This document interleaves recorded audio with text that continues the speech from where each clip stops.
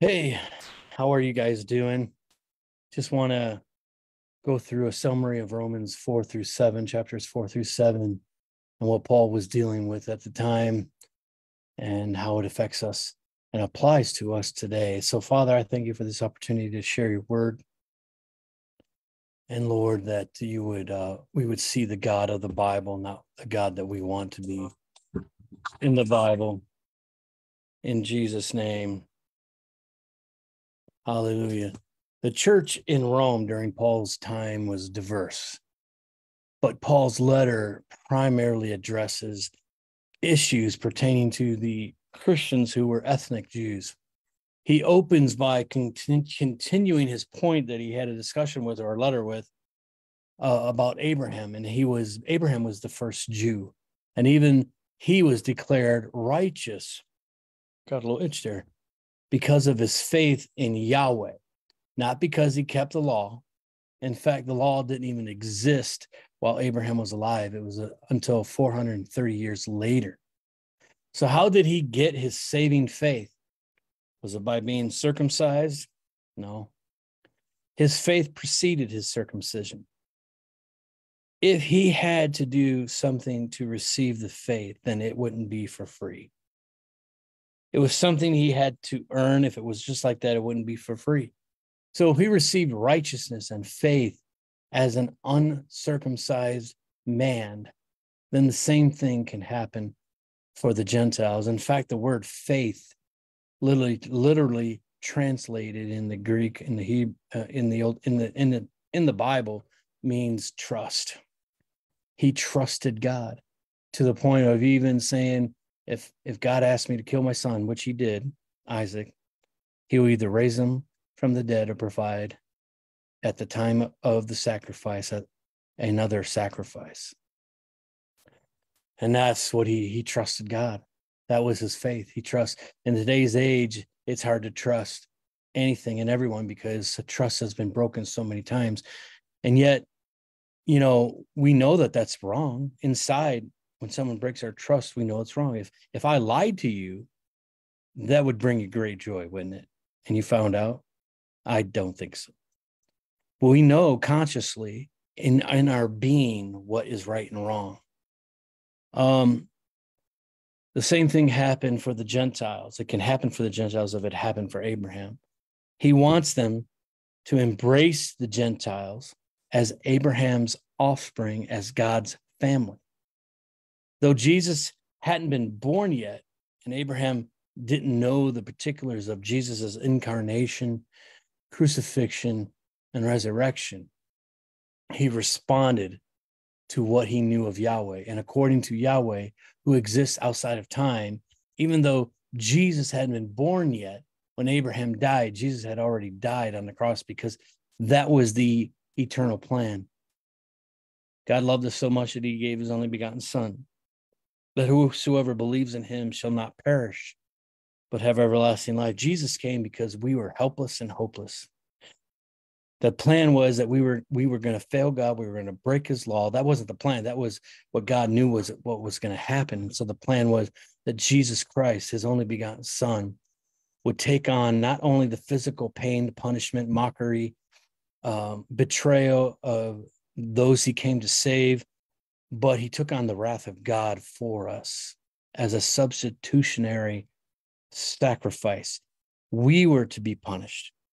In fact, in a in a uh, uh, court of law, God's justification is is absolutely correct to punish us for sin. And the accuser of the brethren would, which is Satan, would go to God, could go to God say, Hey, James, he sinned today. He failed. Why don't you kill him? And God would be just in doing so. But God did an awesome thing. He said, uh, "Son, would you be willing to take on my the punishment of those that we love and created, so that as my wrath is thrown upon you, when they ask for forgiveness of their sins when they commit them, I will be faithful and I will be just to forgive them because of the penalty was already paid for. So God doesn't send us to hell. It's the consequence of sin that sends us to hell. God wanted to rescue us from hell. He wants to rescue us from all of that. In fact, we have insecurities here, we have failures here, we can't measure up to the law here. He wants to set us free here and then have eternity for free with Him. Jesus had already died on the cross before the world was made. It was always the plan. Being justified, being that we're declared righteous, is Christ ends. The in Christ ends the hostility between us and God. Our sin is the problem.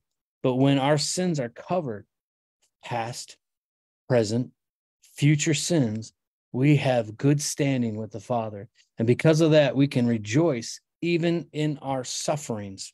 We take on, Jesus said that as you follow me, you bear the sufferings that I have gone through. People are going to lie to you, betray you. They might even beat you or kill you for my name's sake. But suffering in the long run for eternity produces endurance, which we'll need because suffering always lasts longer than what we want it to.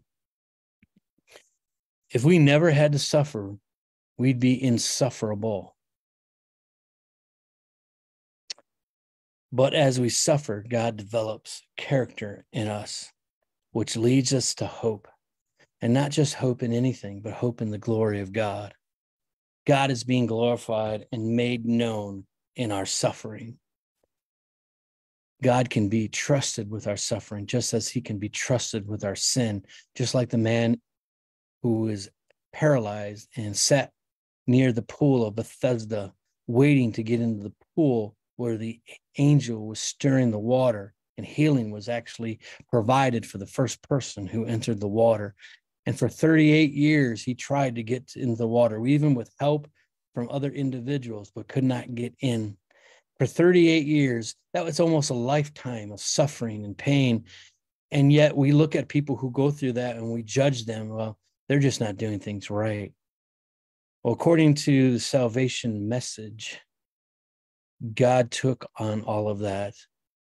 And sometimes that long enduring process of suffering is building in us character. Or if we refuse God, it will build in us more bitterness and more brokenness. But He wants us to turn to Him so that that suffering He can save us from, He can rescue us, us hopeless and hopeless people. And just as He can be trusted with our sin. So He looked at the, Jesus came in the the area of the pool of Bethesda and he looked at the man. He says, "Do you want to be saved?" And I'm like, "Why did you know he's there? Why he are not saved but healed?" And he goes, "Oh, I'm thinking to myself, why does he ask him if he wants to be healed?" Because sometimes we can live in such a, a mind funk, F U N K, a mind, a way of thinking because of our circumstances that we're not thinking the way the Bible teaches us to think about ourselves, about other people, and so Jesus is clarifying do you want not only to be healed, but do you want to trust in me that I can heal you and change your life? And of course, says, Lord, you know I want to be healed. And he says, Well, then stand up, take pick up your mat and walk away. And the man did. So Jesus came to set right what was destroyed by God's enemies, which is Satan, and set in motion by Adam, who co-signed all to death. Now, there is no other religion on this planet where the God of that religion has come down and took our punishment for us. And then because, or what they do is they say, hey, if you reach this, if you can do this, if you can achieve this, then you'll get your blessing and you have eternal life. That's not what our Jesus did for us. Jesus took upon that wrath for us. So the second Adam, which is Jesus, came to bring life. It doesn't seem like one man could accomplish that. But isn't a one is not a one to one trade. An imperfect man could could die to pay for his own sins. But what if a perfect God man came? How many sinful human beings can be covered by the blood of a perfect God? As many who accepts it. By the one man's obedience, by one man's obedience, The many will be made righteous in right standing. Many. You and I are the many. And because his blood covers you and I, sin, you can't sin or I can't sin our way out of it, out of this mercy, out of this grace. Where sin increases, grace abounded all the more in Romans chapter 5 20. In other words, if your sin is a valley and his grace is a mountain, and you could push that mountain into the valley, it'd still be a mountain. But his grace is no reason to continue in sin. We may struggle, but we're no longer enslaved to that struggle. By the Spirit's power in us, we're continually killing off the old self. You know, we're not going to go to hell for smoking, but smoking can damage our body and even to the point of death. Same with drinking, same with overeating. You know, putting other people down is mocking God. So we fight those things and we want to change those things. It may be easy to fall back into our old patterns, but sin isn't worth it. What fruit were you getting at that time from the things of which you are now ashamed of?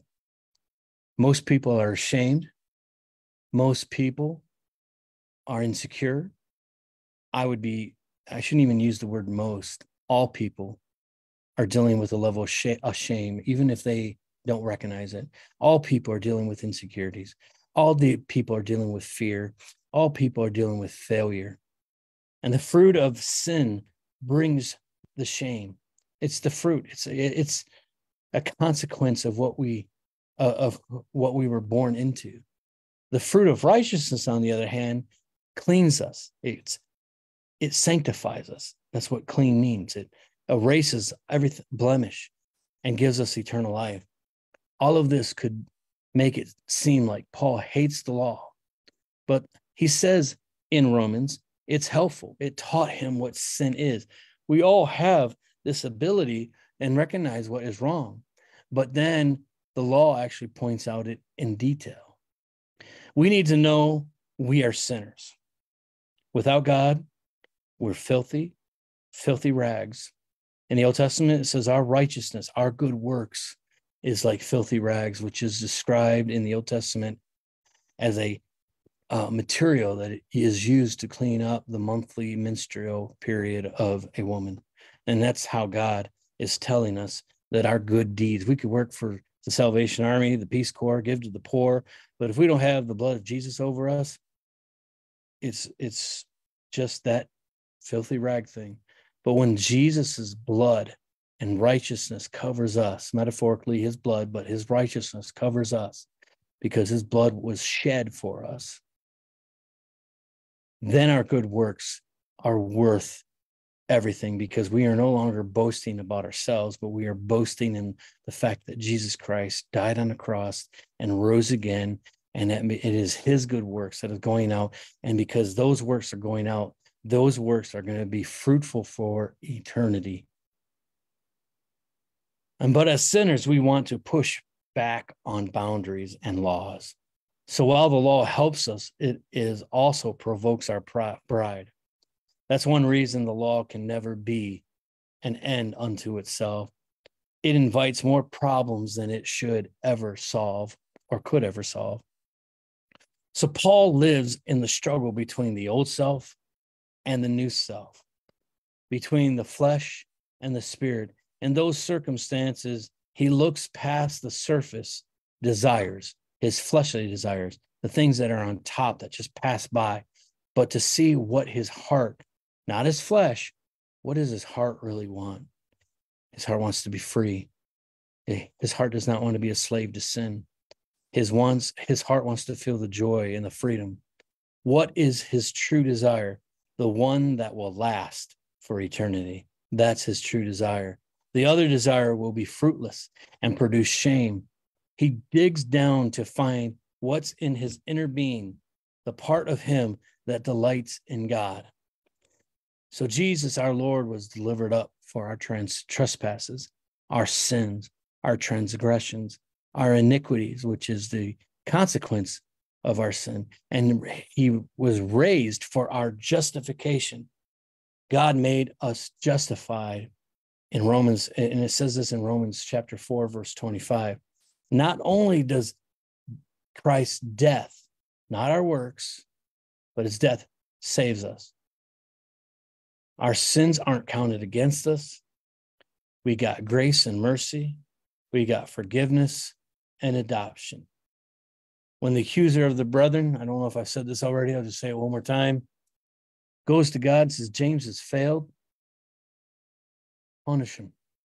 Jesus looks at God and says, But you eradicated and made a way through me to make the law, your justification, excuse me, this way. You've already justified um, your justification is satisfied by your wrath being put upon me. And so mm, you can be faithful and just to forgive them of their sin. You can be faithful, trusting, and um, justified. You don't have to follow the old law because the new law eradicates it. We got our sins erased and our lives restored if we trust in the Lord. It takes time to grow in the Lord. It takes time to get things right and we may fall back into some of the old patterns but he is faithful and just to forgive us of our sin if we'll ask him and turn our life over to him. Just not just the absence of punishment that we get to enjoy but the presence of blessing. What a savior that we have.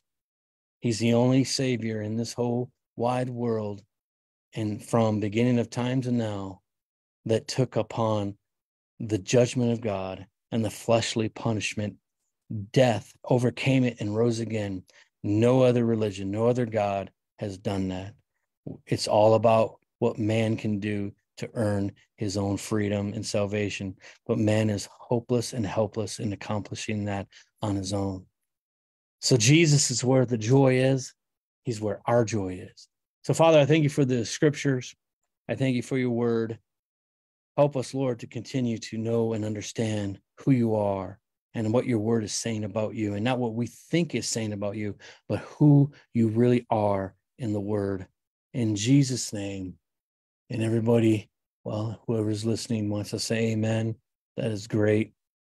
Um, about you, but who you really are in the word. In Jesus' name. So you have a great week and weekend, and I will talk to you guys or share some more um, a little bit later. Thank you. You really are